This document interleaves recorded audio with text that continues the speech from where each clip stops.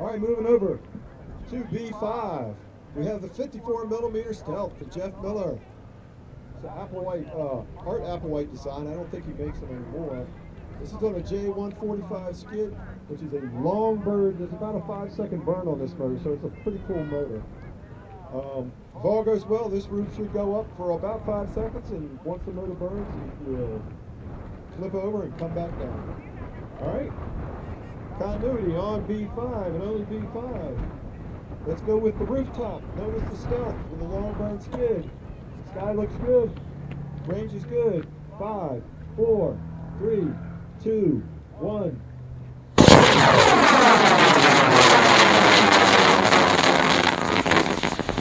That long burn skid.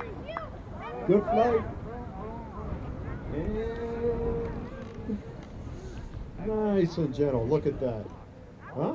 Just like in the Wizard of Oz, right at the beginning. Good flight.